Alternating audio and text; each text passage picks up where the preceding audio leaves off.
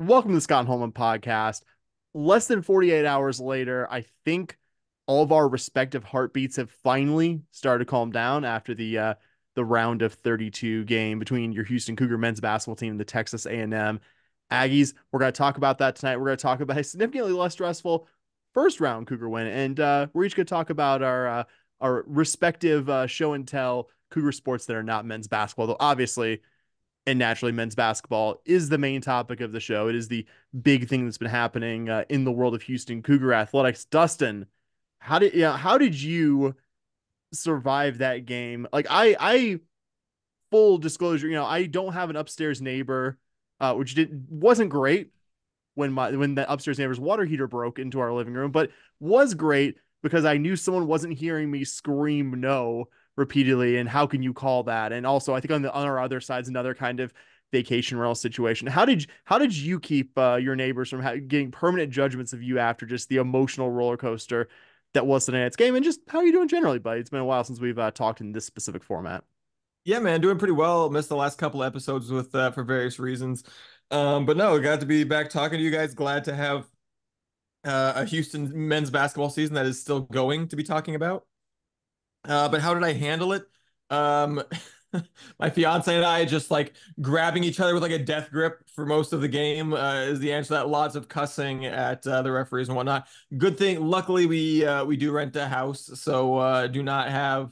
And it's I really only have a neighbor in one direction, and you know if they had really that's said, right, yeah, we would have tried to keep it down, but um, but but fortunately, uh, that they didn't. Uh, we so we got to just kind of yell at the uh, the television screen together and uh, and luckily hold on and and yeah and, and, man I don't I don't know if I've ever gone through a Cougar sporting event where I felt like I was going to throw up as much as I did uh, for much of the second half and overtime of that one but glad glad that we can all uh, laugh because it ended uh, ended with the Cougar W. Yeah, no doubt. Bobby had such a hard time with it. He is uh, he has dropped off of the Zoom call. He he just cannot handle uh, the thought talking about uh, Houston Cougars and Texas A&M. I, I will I will also say like near the end of the overtime, to be clear, I, I did end up watching it, but I sent him in a oh my god, I don't think I can watch this. Uh, with a when there was I think it was about the 30 second mark or something like that in the second half. Just an absolutely wild one. Uh gonna at the top here, of course, uh do some housekeeping, talk about some of our good friends here. Start with our good friends at Charlie Hustle. Charlie Hustle dot com on the World Wide Web makers of incredibly comfortable vintage collegiate apparel, Houston Cougar jackets, Houston Cougar quarter zips, Houston Cougar tees, Houston Cougar hoodies. Absolutely, you know one of the one of the best designs out there, and just what I think is really cool uh, through this sports season of uh, you know being partners with Charlie Hustle is just it's not like we're hawking the same unchanged collection. Like they've they've made key additions to the collection. They've solicited our feedback on it, which I think is is really cool. I'm not gonna be like, I was the great, I was the grand idea behind this Charlie Hustle design. I was not, but the fact that they genuinely seem to care what you know our our feedback was on it, and I think you know had some really awesome timely releases. Did uh, the cool stuff with the uh, alumni association uh, during the Big 12 tournament in Kansas City. So really cool and uh, growing partnership we have with them. So support our friends, get some good apparel, charliehustle.com. And of course, during uh, March Madness, the month of madness, to support our friends by downloading Autograph on the Android and Apple stores. Uh, use our promo code uh, SHPod uh, auto, Autograph with plenty of uh, cool March Madness stuff. You could win a suite uh, to see the action this weekend up in Dallas. I know a lot of you are going. If you want to upgrade your seats for just an absolute steal, fraction of the price, true fan pricing over there at Autograph, please. If you uh, haven't done so already, join the many of y'all out there we know who have downloaded Autograph on your phones guys, Bobby has now joined us. His internet is at least temporarily being cooperative uh, right now. Uh, Bobby, why don't you take us into some uh, Cougar basketball talk? I'll give you a chance to do what uh, kind of lead us into this topic by giving you a chance to do what your internet did not allow us to do uh, about a minute ago. How did you personally make it through the quite literally three hour experience that was buddy uh, that cougar basketball. I, I kind of have an idea because we texted some during the game and i i confessed while you were getting back on that i had told you i can't watch this uh, in a closing stage. I did watch it but i really physically felt like i couldn't uh, how did you how did you deal with it? And just kind of take us into this topic if you don't mind. Man, I knew I was getting stressed out because uh, I literally was like, well, I need to take off my Charlie Hustle sweatshirt right here. Like, this is, it's been good luck all year. Like, it has one loss, and that's the Iowa State game. So, like, I try to wear it, even though it's like starting to warm up a little bit. But I was like, I am physically hot right now. Like, I cannot, I cannot deal with this. And my wife's a Houston Cougar, and, you know, she was watching the game a little bit but she was like, I'm going to bed. She had a long day. Um, we actually had a really long day. We drove back from Houston um, on on Sunday, and we were up at like 5 a.m. to get her back to work in time. And so, um, you know, we left Houston at like 6 a.m. So we were up early. So she went to bed, and I was like, "You're not going to be able to go to sleep. Our bedroom is like right off our living room." And I was like, "Yeah, you're not." You might as well just go turn on your iPad and just kind of relax. Um, and then um yeah it was just kind of kind of that and then the she heard, heard a lot of you being like oh god yeah yeah uh i think the big one she heard the most was uh how the do you call that a jump ball that's not a jump ball that's not a jump ball um i think that was probably the loudest i got um and then and then she heard a lot of oh god ryan just one just give us one of two. I just need one from you here, Ryan. We just need one from you here. So uh, there was a lot of that. But, you know, before we go too deep dive on that game, there was a game on Friday. Uh, let's let's do a quick review of that uh, of the Longwood game.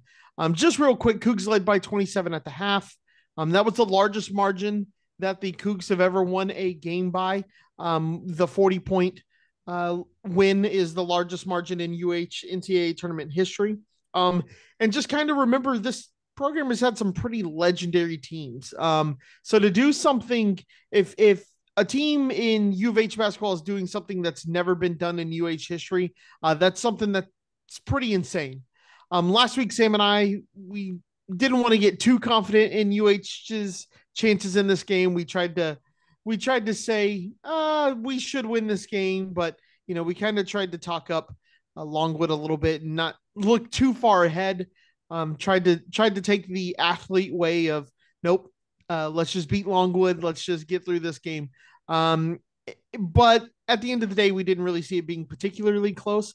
Um, I don't think either one of us, I don't want to speak for Sam 100%, but I don't think either one of us necessarily saw a 40 point win, uh, but we are happy about it. Cook shot 58.5% from the field. And if you're holding a team to 34% and you're shooting almost 59%, uh, it's probably going to res- result in a dub. Overall, dominating performance by the Cougs. Um, what were some of y'all's takeaways? Yeah, I mean, I think the main thing in, in a game like that is you just want an undramatic game, and that's what you got. You know, anytime it's a 116 or just a real high seed versus a real low seed, you don't want the Lancers to start to believe. You don't want every non U of H partisan in the crowd to suddenly get really into it and get cheer start cheering against you. Um, you know, as a fan at home, you don't want to read the damn tweets from everyone around the country just like laughing at you. Oh, is Houston gonna lose? Um, but yeah, this one was 43-16 at the half. That was uh that was well and truly over before we got to uh, the 20 minute mark for sure. Loved getting 17 from Damian Dunn off the bench. His first, I believe his first NCAA tournament game at all, right? Because yep. Temple had never yep. had never been. Um, and then obviously getting Ramon Walker back um, from injury, you know, getting the news kind of early in the day he might be available, and then actually seeing him out there playing 13 minutes in this one um, was uh, was really really really good for good for the soul to see Ramon back out there, and just good for Houston's depth uh, going forward. And I mean, you got Ryan Elvin, six minutes of, of playing time that you didn't have to give to one of your other tired regulars. Uh, you got Ryan Elvin five points. And you know, I, I, you know, not to like get ahead, but I think one of the reasons why you won an undramatic game is you can get a bunch of playing time for Ramon Walker. You can get a bunch of playing time for Ryan Elvin in case I don't know one of or both of those guys might end up playing a key role in a future game in the NCAA tournament, perchance. Who knows? Um, but yeah, just all in all, again, you, you're not you can only uh, take so much from from winning the 116 game, which despite a couple of recent upsets is what almost always happens. Um, but you know, you, you got everything that you uh, could have possibly asked for out of this one. It was evident after about five minutes of this one that one of these teams was the polling and metrics national number one for a good chunk of the season, and one of these teams went six and ten in the Big South. Uh, not to say that the Lancers didn't deserve to be there, as I, I repeated. Like if you if you beat the conference's best regular season team by a wide margin, I think I think that gives you a, a lot of merit to you know punch your ticket along with obviously winning their conference uh, tournament. Really, the only point where and I had to kind of look back on this one where Longwood had I don't know, even a glimmer of hope of you know maybe putting their foot in the door and staying back in this game is they they cut the lead to 17 to 9 just inside of 10 minutes in the first half, but Cougs outscored the Lancers 26 to 7 to close the half, and maybe even calling that moment a glimmer of hope might be a stretch. Like you both have said, so so so cool to see Ramon Walker back out there, giving you a good amount of minutes off the bench, like you just said, Dustin. And it cer- certainly didn't hurt. It was foreshadowing that uh, you didn't. You got to basically rest everyone the maximum amount of time, guys. Especially you needed Jamal Shead and uh, J'Wan Roberts for a lot of minutes in the in the next round. Also, really like what you saw from Damian Dunn, obviously in his first NCAA tournament game, and Mylik Wilson. I, I think both you know both those guys giving you extended minutes and and getting their confidence in a good place because that's with your bench being as short as it is and with games hopefully to go after this weekend you want those guys in a high confidence state and uh and i think yeah really long the longwood win just checked every box and and like i think you both have kind of said just not having a stressful 116 game i don't think we knew how stressful the round of 32 game was going to be but i mean we knew nebraska and a were both we're both good teams playing good basketball at this point in time. You knew they were going to, you knew it wasn't going to be a 40 point Longwood uh, kind of thing. And, and, you know, it's kind of a reflective of the fact that this U of H team did, did, like, it had been so long, guys, since we played a, a outside the KenPom top 100 team. That's the thing about Big 12 play. It's just even the, even the like off weeks, you're still probably playing an NIT caliber team. Like you're mm-hmm. UCF and K State, not the best opponents. UCF and K State drastically better than most of the teams you saw in conference play most of the last decade plus of Cougar basketball. Yeah. J- just like as a reminder, oh yeah, this team is just mercilessly good against uh against the level of team that like Longwood and most of your 15, 16 seats are. So yeah, G- glad we don't have that much to talk about with the Longwood game. I think that's that's a that's a sign of uh of a of a good game in this case, a sign of uh the expected happening if you're a Cougar fan. Yeah, and the game gave me one of the best tweets I've ever seen in my life. Uh, I sent this one to Sam. Um, a guy who has no profile picture says a effing dude who has made four field goals the entire effing season makes two in the last seconds, including a three pointer, to destroy a effing under bet. FCBB betting. It's such BS. The effer should not have been shooting a three point shot with a 40 point lead. F ah. Ryan Elvin. That is as if I could love Ryan Elvin more. That is such a good tweet. Um, just just fantastic. I saw it and I had tears streaming down my face. It's so good just to get that mad over your under bet. Um, yeah, Longwood game. Really nice to not have that dramatic uh 16-1 game. But uh two days later, the Cougs played in one of the more exciting games we've played this season versus an A&M team that the Cougs did see earlier in the season and had a close contest with then. Um, I think going into this game, it kind of had the feeling of the hardest second round matchup for a number one seed. Um, I texted Sam Friday while I was driving to Houston for for a wedding that uh, that this A&M team actually looked kind of scary. Um, the Cougs led by five at the half, and that honestly felt like about what it should be. Um, the Cougs definitely should have been leading going into the half, and five felt about right. Uh, the Cougs were winning, but it didn't feel dominant. At halftime, though, it really felt like a one point win was all I wanted. It was just, I know it's March and you always just want one point wins, but you know, against Longwood, if you have a one point win, feels a lot different than this game would have. It, it felt like a, uh, felt a little bit like a dogfight. So, um, I didn't want to win this game by any margin after halftime. I just wanted to win. I didn't care what it looked like. I really felt like it was going to be a dogfight, and it was. Right, this game was a dogfight, physical game, but the conversation around the game from Coug fans, um, and I've seen some A and M fans, is the absolutely terrible officiating. It's not often you see the winning team complaining about the refs, but man, this was brutal. Uh, the Cougs were out attempted on free throws, forty-five to thirty, um, which honestly feels narrower than it felt in the in the moment. And i think some of that is late game free throws uh things like that. Uh still a huge margin. Um i'll also throw out that 75 free throws is way too many in a game no matter what. Um if you if you're sending people to the line for 75 free throws it's too much of a of a ref show. And this was a classic version of a uh, of a ref show. And I will stand by the fact that the jump ball awarded with 1.2 seconds left in the game is one of the worst calls I've ever seen in a basketball game. Just how do you even I tweeted on the first jump ball, how do you call a jump ball when the other team doesn't have their hand on the ball? This was not even close to that. Somehow it made that look like, oh, maybe that should have been a jump ball. Um, that I mean, being like said, he was trying to foul, guys. Didn't he? It Yeah. didn't look like to you he was trying to get the immediate foul. So U of absolutely, H would be going to the other end to shoot. absolutely. And here's I I will give A and M their credit hitting that shot. Um, absolute clutch move. Um, and you do have to tip your hat. That's a uh, good inbound play there. Um, I mean, Cougs had it defended pretty well. You, you made them choose their probably third option on that play if you watch it. Uh, unfortunately, that third option was wide open and and hit the shot. Sometimes that happens. Um, but before I get too much into my thoughts and start going too crazy on it, that was kind of some of the high level I had was the officiating was just terrible in this game. It was a physical game. Um, but what'd you guys think? Yeah, I mean, you hate to start talking about again a round of 32 NCAA tournament game that you won by I think talking we should about. front load it because that By because believe me, yeah, front load Let's it. get it out. Let's get it out of the way. That's what we're doing. We're getting it out of the way. We're popping this, this, this. We can move on to other things. Um, no, it was rough. Uh, Houston became, as you probably have seen by now, the first team since 1987 to win an NCAA tournament game after fouling out four players. Um, and you know, I, I'm gonna go say, go ahead and say as a uh, disclaimer up front, not every bad call in this game benefited Texas A&M. Not every Mhm. foul, not every Oh, foul yeah. call is a bad one. And yes, the refs even genuinely missed some actual foul calls that they did not call in this game because it was a very physical game where an above average number of fouls were committed, regardless of who was officiating the game. Um, but there were just so many unnecessary whistles. To pretend like the 52 fouls in 45 minutes wasn't inflated by the Zebras being overzealous, I think would be disingenuous.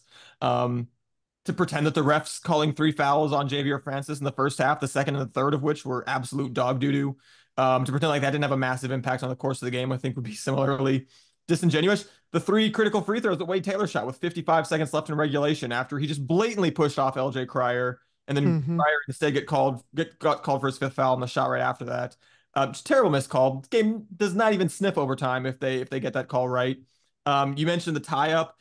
I went, I went, went, went and rewatched it. Wade Taylor on that shot shoots the shot and then just flagrantly like flails his left arm and leg out and draws contact with Jamal Shead. A play that is absolutely they're like making an emphasis this year to like call that a foul, an offensive foul when the guy does that to like just the most.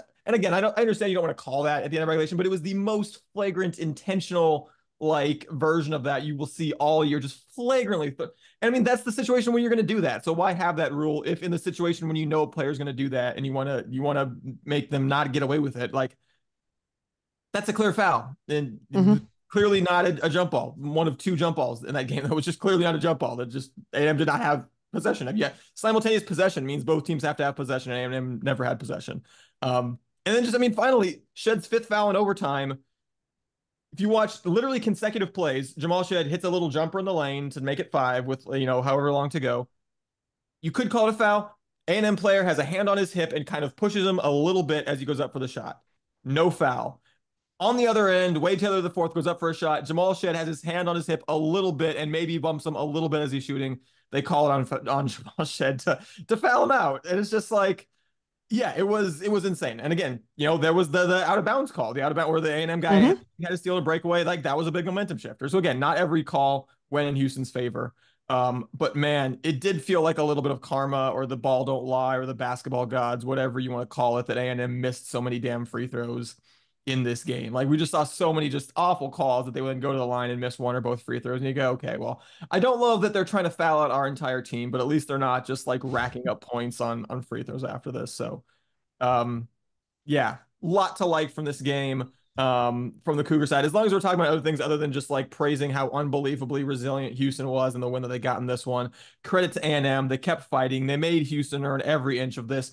I thought it was over when Houston was up 12 with under two minutes to go. Yep. And it was Same. having none of that. You know, it's not their fault that the calls were whatever they are. They didn't like some of the calls too. So whatever it is, I mean, just they fought their absolute ass off. Um, and just did, you know, other than make free throws, did about everything you could possibly do. They rebounded over half their misses. Nobody rebounds over half their own misses against Houston. So I mean, they just they absolutely played played out of their minds in a lot of ways that didn't involve uh, making free throws. Um, but just made it incredibly tough for the Cougars. And and like I said, ready to kind of I'm sure Sam will have his, his go at the refs here, but you know, as for myself, ready to start talking about all the, the good because there's just so freaking much to be uh, impressed with Houston after this one. I'll close the circle on this and get into the basketball if you guys uh, find that agreeable. Perfect. Let's go. This game was actually part of a strong finish, I think, in terms of exciting games on both the men's and women's tournament the Sunday evening slate. Dustin, I'm sure you were more than peripherally aware that Stanford Iowa State was going on at roughly the same time. Frustrating finish, but obviously a classic of a basketball game. Like a credit to the women's game. I think this one, classic wild basketball game but you know, and again, for the neutral fan, they probably had a fantastic time watching U of H A&M, and you know, UHAM fans probably uh, had to be picked off the floor uh, in some state of either elation or depression. Like it, it, was a wild game. It was it was the game that I think, or kind of game that makes March Madness, I, I think, really the premier sporting event that this country offers, both pro and collegiate. I think for the people that oversee the sport of college basketball in a leadership or over, oversight role, this game should be an embarrassment. Uh, critiquing officiating, I think, can go in you know, really weird and I, I think incorrect places. And to that end, I, you know, none of us are saying that or even implying that Jeb Hartness, Marcus Pettigrew, or Lee Castle had any desire to influence this game towards Texas A&M. I think it's silly to even kind of go down those roads. That's not what's happening here. Mm-hmm. And this was a physical game between two teams that like to play a really physical brand of basketball. But like you guys have both said, 52 fouls and 75 combined free throws. That's embarrassing, even taking into consideration that they're was some late game deliberate fouling mixed in there. It, was a crew that felt that their presence to this game was more important than the players playing basketball. The kind of mentality that stems from having someone like Jeb Hartness as the most senior official on the crew. If that's not a familiar name to you, Hartness was contracted to a number of Big 12 conference games this season, including a number of U of H games, was notably part of the crew that ran off head coach Scott Drew in an early February game on a second technical that, and it pains me to give Baylor any kind of just like – positive or this was this was an injustice done to them, but random on a second te- technical that was just incredibly fl- flimsy, so much that became a major college basketball story for that part of the season. How is someone like that allowed to officiate these kinds of games, or for that matter, to briefly away from this game? Tony Padilla, who was he was the ref at the center of Kelvin Sampson's ire during that Oklahoma State game. Like Kelvin Sampson got the maddest I've ever seen him in 10 years here at an official, at Tony Padilla, a guy with this reputation is just like, yeah, this guy's a prick. Yeah, this guy like lets his emotions get too much into the game and calls it really, you know, really based on how he's feeling at that moment. How is Tony Padilla getting the Kansas Samford game and allowed to make a call that swung that game? How is Tony Padilla and all three of the fucking officials in this crew? How are they calling Sweet 16 games this coming weekend? Like it, it just tells you it tells you where the heads at the people in, in, an oversight role because they're not they're not embarrassed by this. They probably think the crew did a good job, and I, I think any anyone who watched this game would tell you the opposite. I think just tells you how removed those people are from understanding why people like the sport, why people like basketball. I think in some ways it was a very exciting game, but I think we were also kind of robbed of seeing. It was basically like A and M. A and M's game was reduced to a you know, free throw parade, which kind of to the Cougs' benefit because A&M has not been a good free throw shooting team and kind of demonstrated that in the basketball. So it's, I think it's it's very frustrating. This game was a classic game, but I still think it would have been better served, better served with uh, I think less stringent officiating. Like I, I think, yeah, I think we've kind of made our thoughts on it pretty clear, and let's talk about the good stuff, the basketball, or at least the the stuff that uh, we enjoy talking about a bit more, even if some of it was a bit stressful in real time. I think the last time I had to think about this one a bit, guys. The last time I was that stressed in a U of H NCAA game, I think was the Oregon State game uh, in the Elite Eight in the 21 tournament. Uh, you know, like the losses since then, Villanova and Miami, I wouldn't say those were stressed as much as kind of like grim realization. Like in the Villanova game, grim realization that we are just cannot buy a bucket today, and uh, grim realization in the Miami game that we cannot stop our opponent from getting uh, a bucket today, but not really stress per se. And I think if you want to talk about individuals, I think you got to start with Emanuel Sharp. Uh, his performance in this one, I would say, in the absolute pantheon of superb Cougar postseason performances. I'd put it up against what I would say is the gold standard of it that Rob Gray 39 point game in that first round win in 2018 against San Diego State, where he put the team on his back in that one. I wouldn't say that was, this wasn't as singular of an effort because a lot of other Cougars, I think, I mean, as we'll talk about, it was very much a team effort to get this win across the finish line with your only five available players. But I mean, in isolation, I mean, a 30 point performance where you hit half your shots is great, full stop. I mean, that, that performance, I think, gets magnified when it ends up being such a tight finish. I mean, it's an extreme example, but I think this game is proof positive that Sharp's the most improved player on your roster. Like you have a lot of improved players. Like that's the great thing about this program is basically just about every guy who plays a fair amount improves so consistently year on year. But going from, I would say he was probably the least sure with Francis, you know, starter when we kind of looked at what our starting five would be going into the season. From that to dropping a, you know, dropping 30 points in a round of 32 game, like that's that's such a transformation. It's so exciting to think about. I don't want to get ahead of this season, but you probably have two more seasons of this guy in your program. He's made such a big jump from redshirt freshman season to redshirt sophomore season. I, I think that's that's kind of where I want to start it because Emanuel Sharp's performance, stuff of legends, and and you don't you don't get this win without Emanuel Sharp having one of his very best, if not his very best, game as a collegiate. Yeah, uh, I mean, just was was hitting shots all day long, but especially you know in the first half when it seemed like you know no one for Houston, especially from the outside, could could buy a bucket. You know they stayed in the game because Emanuel Sharp kept hitting kept hitting big three after big three and really kept doing so throughout uh, throughout regulation and overtime as well. So it doesn't mean absolute pantheon, but I mean just one of just a number of guys who are just absolute performances are going to be talking about for years. Uh, in this one, and, and some of the, the obvious ones, you know, I guess we'll go, we'll talk about guys like you know Jamal Shead and LJ Cryer, who obviously had big games as well. But you know, just even guys like Ramon Walker coming in, making multiple key plays in overtime, uh, including the massive like rebounded putback that he had, mm-hmm. um, that when Houston just desperately needed it. You know, I tweeted it, but I mean, it's if, if he doesn't absolutely work his ass off to get back, you know, from that injury after it looked like his season was going to be over, Houston's season is done right now because Houston doesn't win that game without without Ramon Walker coming in and, and making plays in overtime. Um, so just I mean, for him to to to go through all that and to get the uh, you know the payoff for Ryan Elvin coming in and hitting Houston's most important free throw of the season uh, to push it to four at the end in overtime. You know, it just and it was just it made that's one as, as stressful as this win was. Man, I just I enjoyed seeing all the players in the aftermath, the players and the coaches, and how and just how emotional they were uh, after this one. You saw Ramon Walker, you saw Said Lot in tears afterwards. You saw Dunn extremely emotional, you know, on the verge of tears, if not in tears if you've seen the video of Kellen Sampson going down the, the hallway to the locker room afterwards, you know he was fired up. Um, you know, head coach Sampson after the game called it, may, always said maybe the most satisfying win he's ever been a part of. It clearly shows that this team did not take getting to the Sweet 16 for granted, even though everybody on this roster, that's all they've known as Cougars is is going to the Sweet 16 at least every year. But they did not take that for granted. And honestly, I think that's for me, that's the, the overall thing. That's why this team is still is still dancing because there was no sense of we've beaten this team already. We should be able to beat them again. We always go to the Sweet 16. We'll go again. This Cougar team took nothing for granted. They knew that they were going to have to leave absolutely everything out there, every single one of them on the court. And that's what they did. And that's why they got this win by the absolute narrowest of margins in a game where, like I said, A&M grabbed over 50% of their own misses. Uh, your Houston was only plus one in turnovers in this one.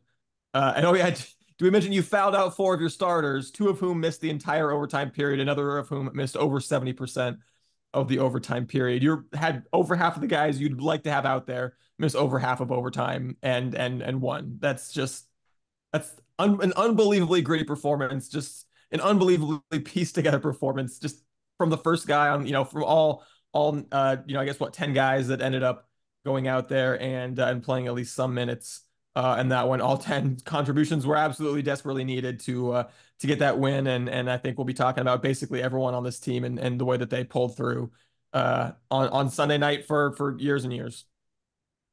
Yeah, for me, I can talk about the performances, like you said, of Emanuel Sharp, LJ Cryer, Jamal Shead.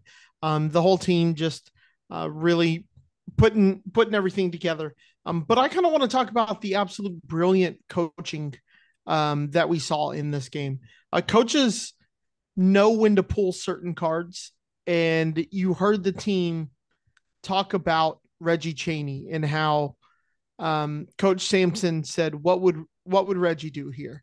And I would imagine that that wouldn't be his favorite thing to deploy um because i i know for a fact you know no one's told me but i know for a fact that coach sampson would have ra- rather have Reggie Chaney at the game watching this team. Uh, but to know your players well enough to to have that, know that it would be something that they could lean on. And then when you saw A and M hit the three, A and M celebrated like that was a game winning three. And you saw some Cougar players get kind of disappointed, right? You saw Wani kind of pull his jersey up over his eyes. Um, but you saw Sampson just basically go, all right, let's go back to work. Let's go to work here.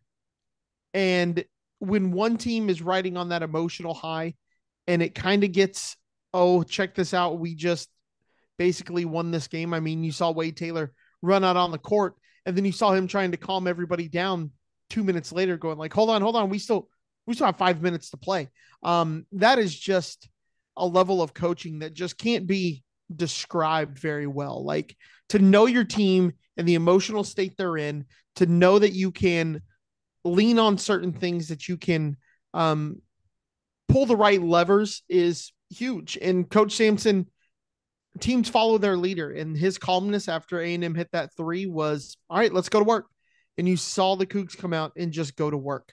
Uh, final, final kind of basketball thing I wanted to touch on. Wade Taylor getting 21 seems like it's a, uh, a you know pretty good game by Wade Taylor. He was number two on their uh, on their team in scoring, but that first half isn't what that first half is without just an absolute shutdown and defensive clinic on uh, on Wade Taylor going into uh, going into halftime. So just kind of wanted to point that out before we went anywhere else. The coaching job that Coach Jameson did was just incredible to be able to pull the right levers, to be able to twist the right knobs and and pull that team through it. And you saw the emotion come out. That's a coach who knows his team like the back of his hand and knows exactly what to do. And then I just wanted to touch on that defensive performance against Wade Taylor. Yeah, I was gonna say a uh, I think really really huge moment in this game uh, that really impacted the outcome was Kelvin Sampson calming down his team at the end of regulation, and then the first Houston possession being that one where the it was the the miss on the the rebound. J'Wan Roberts just absolutely throwing himself into a table to like save the ball to Jamal Shead, who swings it to uh, to Emanuel Sharp for a three, and all of a sudden Houston's got a three point lead right out of the gate to start off overtime, and all of a sudden that just I felt like that that stopped so mm-hmm. much of A&M's momentum in in its tracks because all of a sudden in a very very short period you've got a three possession lead, um, and all of a sudden so I thought that was that was a huge moment by Wani, huge moment by, by by Coach Sampson and by you know Jamal and Emanuel Sharp to uh, to make that three pointer happen as well. Side note just on that uh i don't know if you guys remember the commentators were like he looked like he might have been mute, out of bounds. I muted I, like, I muted them uh five minutes into the first half. I did not hear then, a thing afterwards. Maybe to my detriment that, but maybe to my benefit. And i heard that and i was and then i was like was he because you know that's kind of a hard thing for the tv camera to see and then they show the replay and he's a foot from out of bounds it's like what are you guys looking at yeah uh, I was I was just gonna say, kind of to add on to what, what you said, Bobby. Like I really thought, and I mean, I'm not in the arena, so I can't see how your actually play, but I thought considering how aggravating I'm sure the officiating can can be, I thought Sampson, I, I don't think you ever saw a guy who lost his cool. Like, mm-hmm. and teams really do like they feed on the momentum of their of their coaches, their head coach and the assistant coaches, whoever is on the bench there. They feed off that energy, and as much as I'm sure it was very frustrating to deal with the fact that it was just a constant, uh, just rotating cast of guys that are just like on the brink of being in such bad foul trouble. They're either are not allowed to play in the game anymore because of the rules, or like one foul away from being unavailable. I, I thought I thought you did a good job. I think managing it emotionally and. Yeah, like th- that one, the play that Dustin mentioned specifically, where you go up three immediately. It felt like U of H landing the first punch, and it also just it really did look like, and again, you can only tell so much from watching on TV, like all of us did, like the majority of y'all I'm sure listening did, but it didn't look like a team that you know. I mean, obviously, like probably you know, the immediate reaction. They, these guys wouldn't be human if they weren't just like a little dejected in the immediate aftermath of A and M hitting that shot at the uh, end of the second half. But it didn't look like a team that had blown a 12 point lead. So you see a lot of times, even really well coached teams, they have just a hangover from I mean, just like the emotional letdown of being like looking like you're on the verge of doing what this team has done so many times this year and just kind of strangling the life out of an opponent proverbially in the second half to, oh man, like through through a combination of your opponent, like you said, Dustin playing their ass off and not giving up. And again, no knock on A&M here. Like it's not A&M's fault this crew mm-hmm. Over whistle. They took advantage of they did what you're supposed to do. Like you, if the if the crew just really is loving is really just assuming contact every single time your opponent contests, it behooves you to put your opponent in that situation over and over again, opponent with a short bench. But you know, I, th- I think just to see to see the way the Cougs are mentally out there, it's not just a testament to Sampson, who I you know we said it many times is a world class coach, one of the very best to ever do it. But of the guys that they, you know, identified to come in this program, that these are the kind of guys who are not going to get mentally beat after going through a bad couple minutes at the end. Um, and also, I don't know what you said, Bobby. I mean, 21 points from Wade Taylor, but five of 27. I think you'll take, even though he hit some very critical clutch mm-hmm. shots there in the closing stage of the second half to keep A&M in this. But I mean, I think you have to look at the the totality of the performance. And yeah, some A&M guys did get theirs. Tyrece Radford had a fantastic game. Andy Garcia, in addition to that, um, you know, big three at the end there was just absolutely killing the Cougs on the glass at times in this game, along with Radford. But to do that to Wade Taylor, I mean, I think that's another uh, another reason why you're talking about this game as a win instead of just a really painful loss. And I mean, I really looking at this game in a number of ways. I also wanted to highlight uh, Manuel the the job the Cougs did in Manny Obaseki as well. Uh, he really was someone important to A&M in these last few weeks. Had gotten a huge amount of credit, I think rightfully so, for him going into that starting lineup and suddenly A&M playing dramatically better as a team. Not that he didn't impact Sunday's game positively at times, but I mean, just looking at his game by game, it was Obaseki's worst game for shooting percentage in the last month. And was one of the key players for the Aggies that the Cougs actually were able to get into foul trouble as well. I think again in a game of very tight margins that was important. But I, I guess what I was originally going to say, A&M was kind of the worst case scenario second round opponent. Guys, really looking at this game in the rear view, they saw you once in the regular season when they were playing a lot worse than they are now. And yes, U of H is certainly a more beat up team. I'm not going to relitigate uh, our disagreement with uh, one ESPN commentator on that one. But I mean, Tyrece Radford didn't play in that game and ended up being one of their best players on Sunday. That made a big difference. I mean, it's hard to beat any opponent who's fairly good twice in a season, especially when it's one like A&M that, you know, was a tournament at large caliber team in a year with a very volatile bubble, uh, coming in playing by far their best basketball of the season. You can even see how their specific strengths lined up with the Cougs' weaknesses. They were the best offensive rebounding team in the entire country this year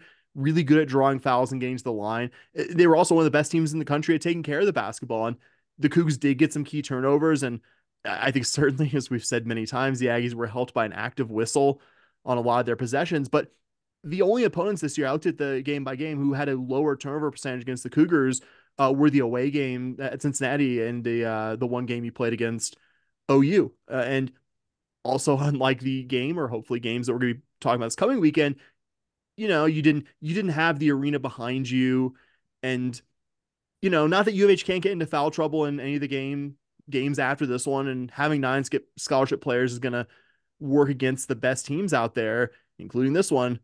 But I will still say this game really did feel like the worst case scenario in terms of having an official, you know, group with a tight whistle, an opponent with a track record of getting to the free throw line, and the team U of H is about to face, and we're about to talk about, and even the two teams that U of H you know could face if you win this uh, tough Sweet 16 game are all very good basketball teams. You are certainly to that point in the tournament where everyone left is a very good basketball team, capable of beating U of H like everyone else who's left.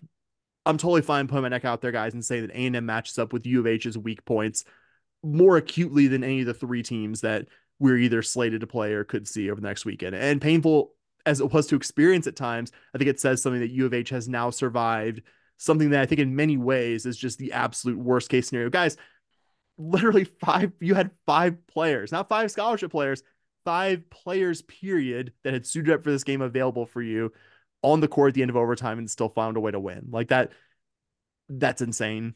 Like I, I can't believe yeah. we're talking about U of H win.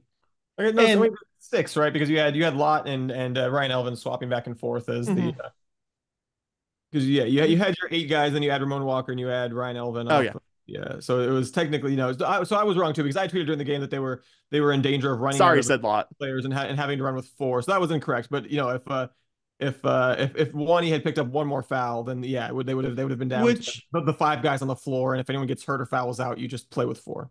Which let's talk about. Uh, we don't have to dive too deep into this, but Wani playing like twelve minutes with four. Oh yeah, yeah. it's incredible. Needs to be mentioned, especially yeah. in that game. That needs to be. I mean, that's huge from him there not at yeah. full health, all that stuff. Yeah, yeah. And you saw him a little shaky in this game as well. So um usually if you're hurt a little bit, especially in the in the legs or something like that, you don't move as quick. You start picking up some dumb fouls because you you start reaching a little bit. So uh like you like you said, Sam, absolutely had to be mentioned. But um with y'all have any more thoughts on the A and M game? So my, my one last thought from this one is yep, this is, it. this is the ninth straight game decided by single digits that Houston has won. Uh, you know, in, in that stretch, you've had the Kansas and the, the conference championship tournament games that got away from Houston. So this isn't an infallible or an unbeatable team, uh, but the ability that they've shown to know how to win games, to know how to win like close games uh, away from home in in road and neutral site situations in most of those cases, um, just remarkable. And I think never has that been more on display than than by how they stitched this one together at the end. And that's one way in which you know, and it's I mean Houston a couple of years ago, you know, they won the Rutgers game in the second round in, in kind of a similar, just like real tough, you know, down to the wire fashion.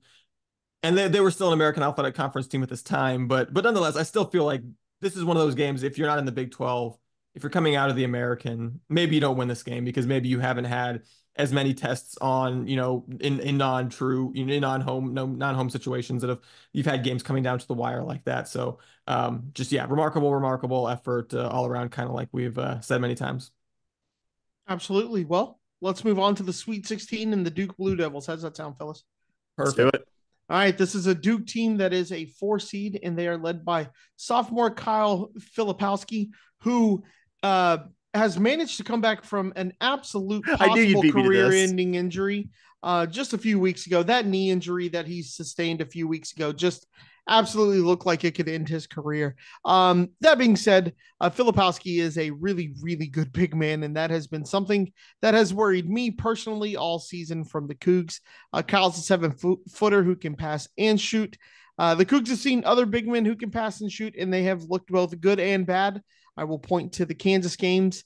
Um, for that, teams that have uh, good big men uh, do give us a little bit of trouble, especially ones that are seven feet.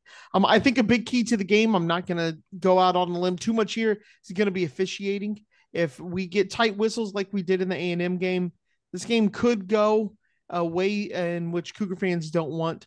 Um, if the Cougs are sending Duke to the line with any regularity, uh, we could be in a world of trouble. Not that Duke was this amazing free throw shooting team all year, but um, I think they shoot just a little bit better than A and M from the free throw line. So that's kind of my first thoughts: is how are we going to shut down uh, Filipowski? What do you guys see?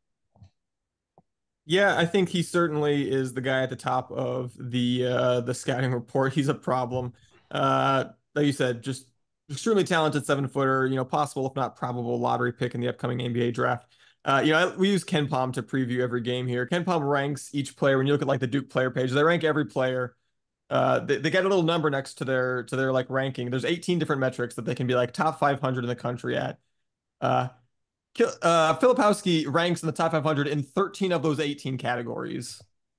That's the, every offensive efficiency, efficiency metric, uh, offensive and defensive rebounding, block rate, assist rate, fouls drawn for 40 minutes, and more. Uh, one of the few categories he's not ranked in is three point percentage shooting, and he's he's good at that too. He's a 35% shooter. He's a good he's a good three point shooter. Uh, you got to guard him all the way out there, and you got Filipowski in the front court along with six foot nine Mark Mitchell, a double digit scorer himself, who also like Filipowski draws a ton of fouls. Um, having both of those guys in that Duke front court when you are so short on front court players, and it's so important to keep your front court players out of foul trouble. Uh, really, really scary. And then, oh yeah, even if you uh, slow down their front court guys instead of foul trouble, all three of their starting guards score well into double figures or score in double figures at least. And uh, Jeremy Roach, Jared McLean, uh, Jared McCain, and uh, and Tyrese Proctor. McCain, who you may remember, uh, Houston was recruiting really hard. Actually, got him for an on-campus visit uh, before. Unfortunately, he uh, he went to to Duke. So I think the one thing that you can say in terms of their their you know overall talent and roster construction is that combo guard Caleb Foster who was there, who's been their best sub all year, is out for the tournament. Really, really by far their best guard off the bench, which really leaves them without a ton of depth. Um, but it's kind of it's kind of funny for for Duke. It's like they've got enough front court players, but they're pretty low on guards. Houston kind of the opposite, but both teams kind of dealing with a little bit of a roster crunch. So I mean, definitely a game that you feel like both teams do a lot of the same things really well in terms of you know holding onto the ball, rebounding. It's a really good rebounding team, really good you know holding onto the ball team. That's going to make it hard for Houston to win by having a bunch of extra possessions. So um, you know, I, I think a, uh, a, a scary team for sure.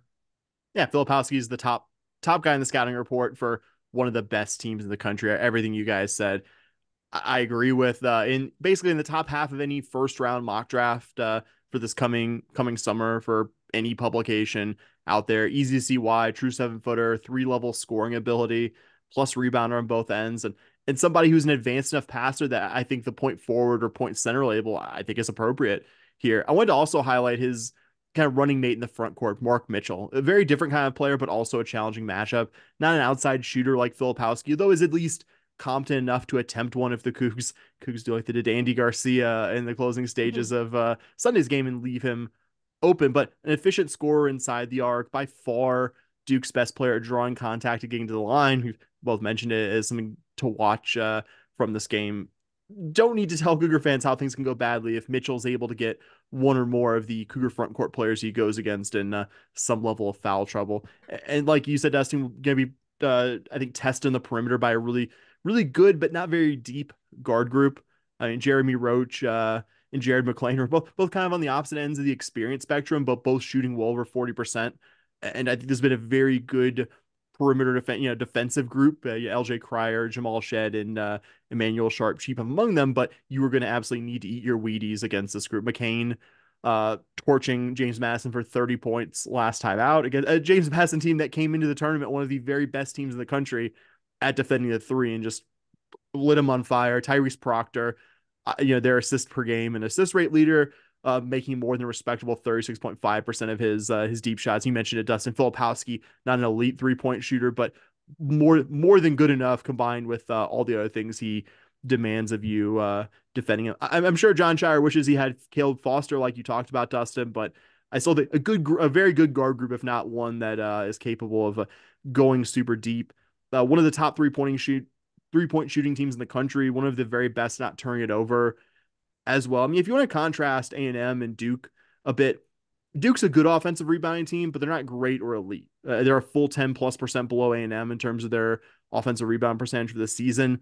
Not that they don't have good offensive rebounders like Mark Mitchell, who just got done talking about, like Kyle Filipowski, who we've just talked about plenty, but they aren't on that same freakishly good level as A&M, if that makes any sense. I mean, still, the Cougs need to do a much better job at keeping Ja'Vier Francis uh, on the floor, not in foul trouble, and not you know keeping Duke from running wild in the offensive glass like A and M did. I think with some help from the fact that Ja'Vier Francis spent nearly all that game in some kind of not super justified but still existent uh, foul trouble there.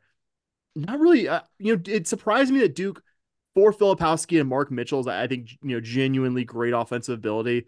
Not that great on the defensive end for all that. And but they also don't have any areas where I think you would say they're bad by any definition, but they're mediocre in a number of areas. To be sure, maybe more mediocre than you expect for just the unbelievable talent that Duke can run out on the floor at any given time, in any given year. I mean, we're talking relative weaknesses. This is still a team that's inside the national top 20 for defensive efficiency, but it's also a team that's had some clunkers. Like you look at Duke's losses this year, and they've had some real defensive clunkers. A couple of them, I mean, not very good teams like Arkansas and Georgia Tech, where Duke lost and didn't really show themselves uh, too well defensively. But it's a great strength on strength matchup. I know the I know the premier you know good offense or great offense versus great defense matchup is Illinois Iowa State, but this is a very you know Duke Duke trying to score against this very very very good Cougar defense. I think I think it's worth the price of admission or the the price of uh, navigating your remote over to the uh, U of H game if you're not going to be there on Friday. Yeah, just I'm super excited. It's in Dallas um, for personal reasons, let alone uh, going to the game. But yeah, I, I, was be... gonna say I'm I'm excited that some more U of H fans can try. Like I'm really excited yep. that that I know that there's going to be a ton of U of H fans at this game. Yeah, and the other fun part, just uh, as a side note, is there's already a lot of events going on.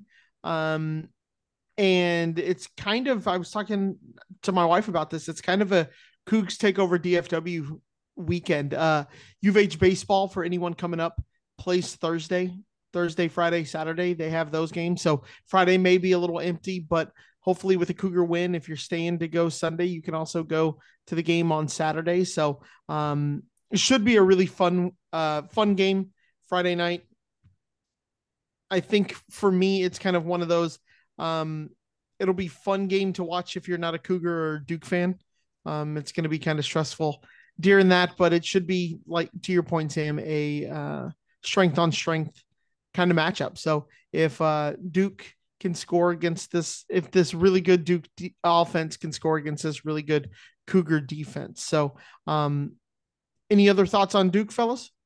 No, I was gonna say. I mean, I think genuinely maybe the most similar team that Duke is to a team that Houston has played this year is Kansas, I think, and that it's a team that is better offensively than they are defensively. They've got a, you know, a seven foot big man who can really pass the ball and create a lot of matchup problems. They can just score the ball like crazy. Um, so I, you know, it's, you know, I think some similarities there. And, and, you know, I guess my last thought is hopefully that, uh, the progress that Houston saw, you know, what they went from playing the first time against Kansas to the second time against Kansas, you know, maybe maybe um, it gives me a little bit of confidence that maybe they'll be able to, you know, play a defensive effort that looks a lot more like the uh, Fertitta Center version of the Kansas matchup than the uh, the Allen Fieldhouse version of the Kansas matchup. Yeah, and, and I think you could I think you could take a lot from your scouting reports from Kansas. You know, really good scoring big man. And uh, how did how did you defend them and see that success in um, in Houston? Sam, I was just gonna say like I know it would make Duke fans livid at me to make the you know they would be livid at me, which which is fine. I, I would I don't give a shit what I was they, gonna say. Uh, are you think. concerned? no, uh, but just like the comparison I know will make any Duke fan who happens to tune into this mad. I like that we've seen Hunter Dickinson a couple times. Like I'm not saying Hunter Dickinson and Kyle Filipowski are the same skill level or anything like that, but like a big man more skilled than your average one with some ability to score on the perimeter outside of 10 feet away from the basket with a big size advantage over you, all of your front court players. Like I like that you've had to see him a couple different times uh it, you know in, in very different situations but I'm, I'm glad I'm glad this team has a couple of different uh similar-ish experience, you know, kind of experiences mm-hmm. with Dickinson versus whether you go with Filipowski. Dustin, sorry. I was gonna say, in- including the uh, the second time around when Ced Lath got some minutes against yep. uh, yeah, big time, well, yeah. which is someone who is, yeah, again, unfortunately, more than likely you're going to have to spend at least some minutes on uh, on Kyle Filipowski in this one. Yep. All right. Well, if the Cougs manage to beat the Blue Devils, are I'm sorry, I got ahead of myself. Any more thoughts on the uh on Dookie? Go for it. Do that transition. All right. Well, if the Cougs what, do manage, away. if the Cougs do manage to beat the Blue Devils, they will be taking on the uh, NC State Wolfpack or Marquette Golden Eagles. If I wrote that down correctly, I don't know why I'm questioning myself if they are the Golden Eagles all of a sudden. Um, NC State has been on an absolute heater leading into the tournament and in this tournament. Uh, ran through the ACC tournament to even make March Madness. I I don't think they were nothing I've gone back and kind of read. They weren't a tournament team. And most of the time, if you are an automatic qualifier and you get an 11 seed, you probably weren't going to make the tournament anyway. Sign that tw- uh, 2010 Cougar team. Um, Big man DJ Burns has been getting a ton of attention during this run. Six foot nine, 275 pounds, and just has the ability to move bodies down low.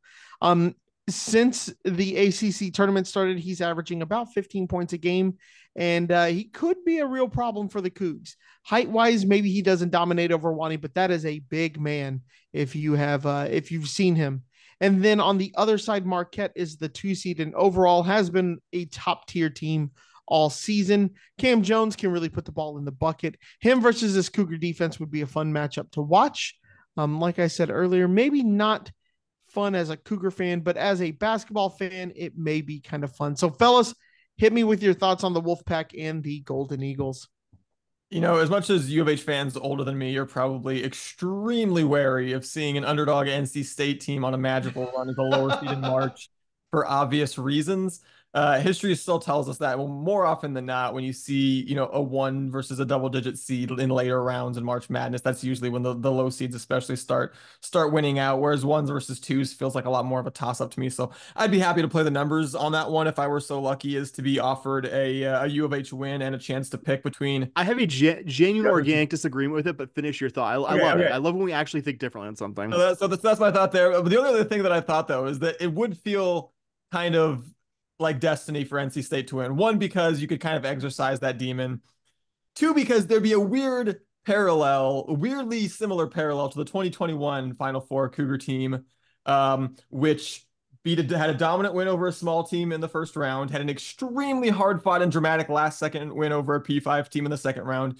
Uh, would then at this point would have theoretically beaten one of the sport's true bluest of the blue bloods in the Sweet 16, and then won a uh, elite, elite eight game over a P5 team that had no chance of making the big dance, but won their conference tournament and made it all to all the way to the elite eight. Uh, pretty pretty weird, similar path if Houston were to make it that far and face NC State. So that would be kind of cool. The Houston NC State thing, I'm sure uh, you know, the tournament, people would love that and would run with that uh, all day. That would be a lot of fun if a little bit, uh, you know, PTSD inducing for some of those older Cougar fans. But you know, I'm happy to face either Marquette or NC State because if we're doing that, then it means that uh, Means we won. beating Duke, which is uh, no given by any stretch.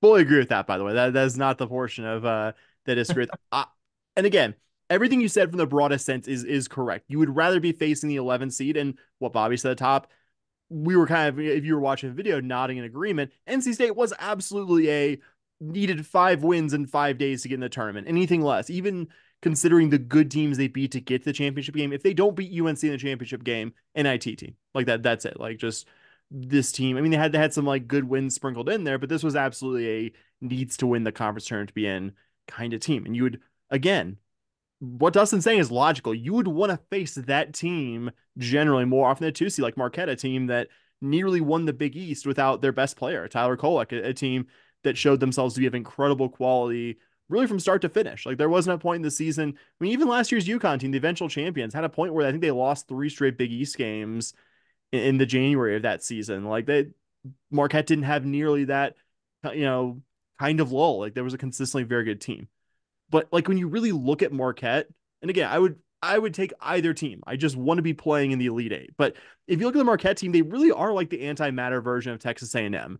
Consistently good all season, which A&M looked incredible against us, and yet somehow lost 14 regular season slash conference tournament games, something I will never truly be able to wrap my head around. But consistently good all season, like I said, great at putting the ball in the basket, and one of the absolute worst teams in the field at getting offensive rebounds and getting to the free throw line. Like that, that that's gonna be so important for any matchup, hypothetical or real, that we have over, you know, hopefully what's another couple weeks of uh, of basketball. And I, I really do think, like, obviously, Tyler Kolek, not an easy defensive assignment for Jamal Shead and the Cougar guards. I think that'd be a very good one for the neutrals. Kolek is a high level scorer, one of the most prolific creators also in the field. Uh, there were some injury questions going into the tournament, but um, he looked excellent in both of uh, Marquette's games. We'll, we'll say one of those was a, I think they were trailing at halftime to Western Kentucky or very close to halftime to Western Kentucky. They eventually did win that relatively comfortably, but was probably the closest of all the uh, 15 to 16 versus one to two seed kind of games in the field in a very close win over, again, a very talented, very, I think, misseeded in the first four Colorado team, but didn't blow out either of those teams. And again, good team. Like this is not me saying Marquette's not a good team or oh, I want Marquette or I think U of H would guaranteed beat Marquette, but NC State specifically DJ Burns, who I think the phrase Mack truck, I think is maybe uh, overused to describe players, but I, I, think very accurately describes NC State's big man. I think him versus a, I think it's fair to say somewhat depleted in terms of who's healthy Cougar front court. That's a nightmare matchup for me. And just a team that has that kind of cinder. I mean, I I still think UN, NC State's flaws will catch up to them before they're, you know, putting down the nets and one shining moments playing. I, I think that team does have an expiration date in this tournament, but I, I just I hate I hate playing a team that has that kind of team of destiny feel. I hate the historic parallel, even though it has nothing to do with the basketball on the court. I, I just feel like NC State, even though they're a drastically worse team over the regular season than Marquette and are seated much lower, I think how they match up with the Cougars scares me more than uh, how the Golden Eagles match up with the Cougars you know, I really see your point on that, Sam. And I think, you know, like I said, DJ Burns um, is kind of one of those guys that will scare you. But good veteran guys too, also like DJ Horne, Ben Middlebrooks. Like yeah. it, it is a it is a veteran team. Again, like A&M, it's like, okay, how did these guys lose so many games this year? Like it does seem like they have the ingredients for a good team. Sorry. But that's just that's just it for for me, right? Is we talked about Longwood was six and ten in the Big South. Like we're still playing a team that lost. And I mean, you mentioned it with uh with Duke. They had some stinkers, right? Where the, you just go, but then you look at you look at theirs. You look at uh you look at NC State's stinkers, and their season kind of was a stinker. I mean, they don't this Virginia Tech loss, a Syracuse loss. I mean, lost to Wake. You just kind of go through their their schedule and you go, I mean, there's a lot of stinkers in this one. And so if we're going to say that, like, oh, Duke had some stinkers, but their regular season, you know, they had a couple of losses and it kind of, you got to kind of look at the same with NC State and just be like, I mean, yeah, I I guess I could see how it's kind of a difficult matchup for the Cougs and things like that, but they've shown that they aren't great at winning games. Not that I think that the Cougs would go in and dominate them, but if you're telling me I got to play uh, Marquette or I got to play NC State, I kind of want to say see NC State. I I don't care about the historical um, precedences and things like that that have happened. It's it's 2024. It's time to you know maybe exercise the demon. And I think it's a great story, and I think it's one that uh, CBS would absolutely be losing their minds for. But at the same time, I, I want to win games, and I if you're giving me my choice, I want the team that struggled to finish mid pack in the in the ACC. So that's just me. You guys got more thoughts on uh, NC State or Marquette? I was going to say the only thing I'll say, and again, not to keep drawing the parallels to the 2021, uh, but uh, the team that gave Houston an absolute scare to death, that absolute Sam correctly, uh, you know, mentioned it is the only game that I think in re- recent Cougar basketball memory has been as stressful as the A&M game. That Oregon State, Rutgers was too, by more, more yeah. slightly more recent, but yeah, yeah, yeah, but yeah, yeah. Um, but uh, that Oregon State that Oregon State team lost to number 321 ranked Portland uh, in non-conference was 10 and 10 in a very mediocre Pac-12. At the beginning of March was ranked 111 in KenPom and then uh, got hot at the right time and scared the absolute crap out of Houston in the Elite Eight before yeah. I got that dub. So I mean, frankly, like kind of like we mentioned, not to just bring it full circle to like the best team to play in the Elite Eight is anybody, but whoever you get is by definition a team that made it it's to a top 10 team and then won three games, right? So I mean, you're you're going to get someone really, really good. You're going to get a challenging matchup regardless. But uh, fingers crossed that the Cougars will get the get the chance to play uh, somebody for the right to uh, advance to the Final Four. Absolutely. All right. Well, any more basketball thoughts before we move on to some other Cougar sports? I think we're good. All right, Dustin. Well, I'll let you uh, jump into the deep end with some uh, swimming oh, and diving. I see what you did there. Cougar swimming Thanks, fellas. wrapped up its season uh, this past week uh, after getting three athletes qualified to NCAA championships. A really good accomplishment after after not getting any uh, last year. Um, but this year uh, we saw junior Henrietta Fangli, who was the lone swimmer to qualify for championships. She was able to compete in the 100 and the 200 yard breaststroke events. And then we got a pair of divers in as well with fifth year senior Chase Ferris and freshman M- Michelle McLeod. Both of them competed in the platform dive. Ferris also qualified for the uh, the three meter springboard. Um, and in terms of the swimmer, Fangli's top performance came in the 100 uh, 100 yard breaststroke, where she finished uh, in 14th place overall. Very impressive uh, finish there. Time of 58.98 seconds in her her final round uh, in the B final, which was a new Cougar program record. Uh, and then McLeod was the top finishing diver for the Cougs. She finished in 25th place in the platform dive. Uh, very strong performance for a uh, a true freshman there. Uh, the platform ended up being Ferris's best event. Also, she finished 34th in the platform. So I think really, really exciting to see such a strong performance uh, in the platform by uh, by the freshman McLeod there, someone who you got three years of eligibility remaining. Uh, was glad to see uh, Chase Ferris, who's been fantastic for a number of years for the Cougs, now in her uh, fifth year senior season, get to go out on top by competing at NCAA championships and multiple events. And then, like I said, exciting to have Fangli back, who uh, finished as high as she did uh, in the 100 uh, yard breaststroke, you know, one of the top, uh, you know, dozen or so athletes in the country in that event. And she still has eligibility back for uh, for next year as well. So uh, excited about what we saw from the Cougs at uh, those swimming and diving NCAA championships. I was just gonna say, it feels like just generally the team checked all the boxes you'd want to check this year. Like be the mm-hmm. best team that's not UT that's won the won the their conference 40 something years in a row. Check. You were second at uh, Big 12 championships. Qualify both, you know, both a swimming and diving athlete or athletes for the NCAAs. And that's big checks there. So yeah, it feels feels like a program that like it was such a tough act to follow when this head coach came in here, and I feel like she's done masterfully. Dustin, sorry, you had something else. I was just gonna say one more check. You know, continue to show that you're going to bring in impact freshmen and impact yep. newcomers every year as well. Check as well as we talked about with uh, with McLeod. Yep. Yeah. All right, Sam, you want to uh, turn your our attention to track and field? I sure do. We got uh, outdoor season continuing on for the Cougs. We're in action last weekend at Rice's Victor Lopez Classic, one of the annual early season outdoor meets that you generally see the Cougs participate in. You ultimately had 17 podium finishes among all athletes competing, and even with some of the bigger names that we've uh, generally talked about this program not participating, I, I think you still had a lot of athletes really performing at a high level over a number of different events. Uh, I think last time I was on here talking about this program, there were a lot of good notable performances from newcomers, be they freshmen or transfers of some variety. So I'm going to leave with one of those tonight. Uh, freshman Cordell uh, Nwakaji uh, won the men's shot put. Uh, as of this week, has the 14th best throw in the country, the second best for a freshman, which is, is nice. Uh, nice performance there uh, from Mr. Cordell. And uh, also, Mikel Beck, a JUCO transfer, won the men's high jump with a clearance of uh, 2.1 meters. Ties him with teammate Antrea Mita's performance from the opening weekend. Both guys currently in the national top 30. We've talked about you know a number of various jumps over the years with this program.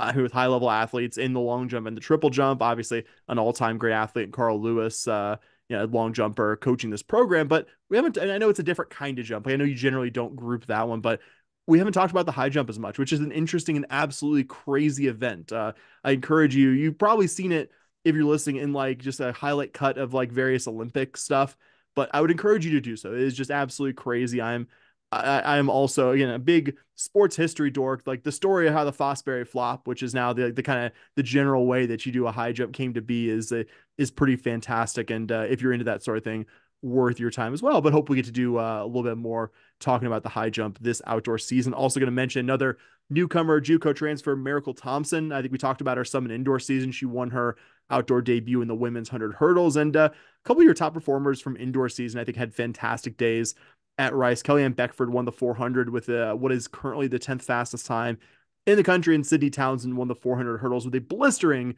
time of 57.17 seconds. Good for second fastest in the country as we record. And, and stick with the 400 hurdles. Four minute, also on the men's side, Dylan Leacock uh, won the event after this weekend, has the 11th fastest time nationally.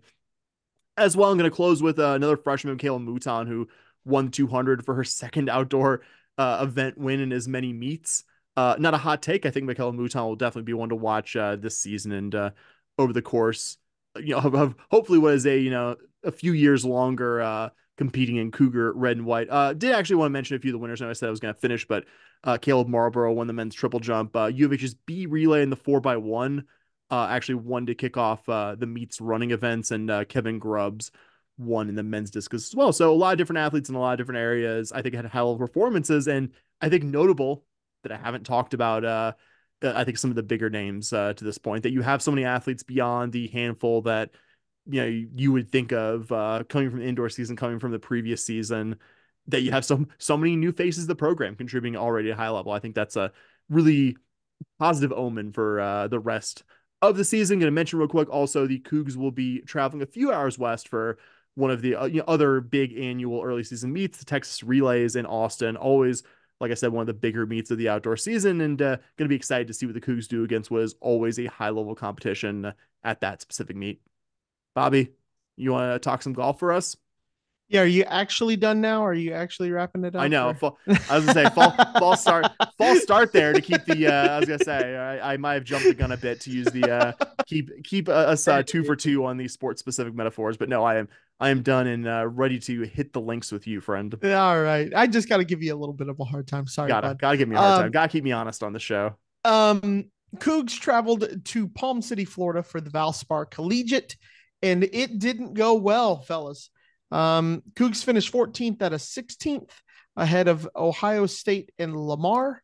Uh, Santiago, Santiago de la Fuente, um, no surprise, led the team um, with three pretty good rounds, finished T13, so tied for 13th. Um, the rest of the team, though, didn't do so well. And if you want any idea of how well the other teams performed, the team that won Florida State beat the Cougs by 39 strokes. They had three players shoot lower than Santiago or de, uh, Santiago, Santiago de la Fuente. They uh, had the winner in two T8s. Um, so just the first round was brutal for the Cougs. Finished tied for tied for last. Uh, the rounds did get better as they went along, but overall, when you finish 39 strokes off of the leader, um, it usually didn't go well. They finished nine strokes behind their next closest competitor, and uh, beat Ohio State, the team that finished 15th by seven.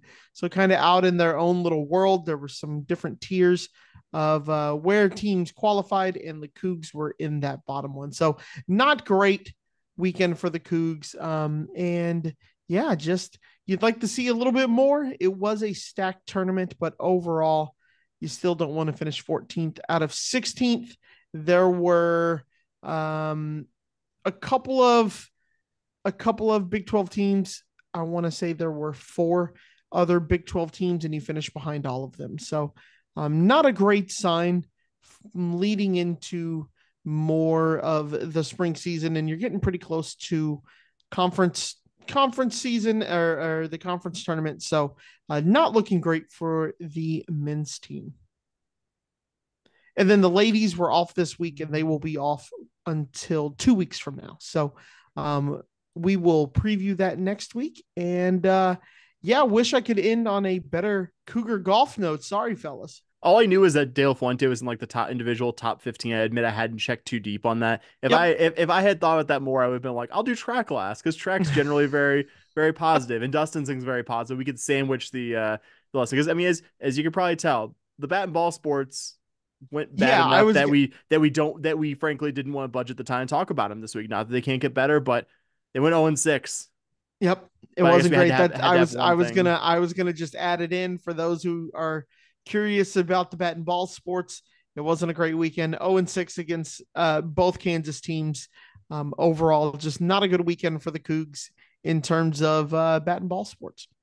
Yeah. The vibes there, not so great, but we're gonna end on end on good vibes. Dustin, you want to take us home? Yeah, the good vibes we're ending on is uh, hey, remember how Houston's playing in the uh, the Sweet 16? Oh on, yeah, on Friday for the fifth straight year. Yeah, I mean, then again, just like I'll just throw a little. I don't think we mentioned it, so let's throw a little nugget out there. But yeah, Gonzaga, some crazy monster nine. It's nine, yeah, yeah, yeah. That they've done this, uh, but Houston five. Only four other schools have gone twice in a row. So the the five in a row, just unbelievable accomplishment. But guys, the- when we played in the Big Twelve, we were going to learn yeah, I guess uh, it turns out it's just a, a, really good program, regardless of uh, oh. minutes in. Actually, interesting, interesting. So what you're saying is, random Kansas fan on Twitter didn't know what he was talking about. I didn't know, know he's talking about. Hmm. Hard to believe that that would be the case. Interesting. But, that but yeah. is that is interesting, boys. That is very interesting to me. All right, we'll end this one on a dunk on a random uh, hypothetical Kansas fan on Twitter. Um, I'm all right out as always. Love hearing from you, the listeners. Uh, we love hearing from you, especially when you leave us a good review on your podcasting app of choice. Uh, we appreciate that. That always helps more Cougs find us. Uh, we also appreciate if you have been enjoying this podcast. If you want to uh, put a little money towards the work that we do, you can go to patreon.com slash sh podcast.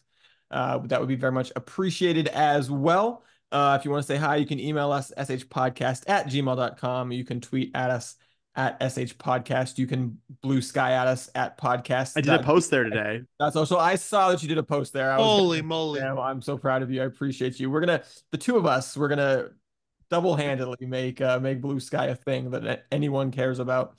Um, we'll make it happen yet. Uh, anyway, if you made it all the way to the end, uh, you're an absolute rock star. And as always, go Cougs.